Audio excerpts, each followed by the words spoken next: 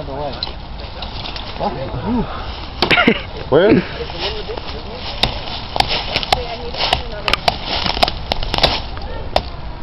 That's the beauty about that. That stuff went into the sea. It's really too mad. Oh. Is that full? Yeah, Oh. Is it just there or did somebody bring it out? that's mine. Oh, okay. I thought you guys just like found it there. I was gonna hit it with it. Can I do it? Yes? I really, really want to. If you do it really, really hard. You have to bust it. Yeah, you have to on actually. the log. Yeah, you can do it from the side. On the log. Yeah, do it on the lawn. Do it on the lawn. Do it like a baseball bat. No. Fuck that shit. Come on, wait, turn to record it. I'm recording it. You go. You go for it. Good. It hit you more than it hit Fuck that can up.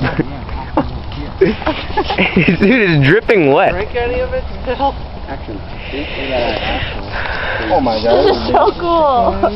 I did that, guys. I did that good. Alright, now Ew, Billy my has to carry is this out. wet or whatever this can.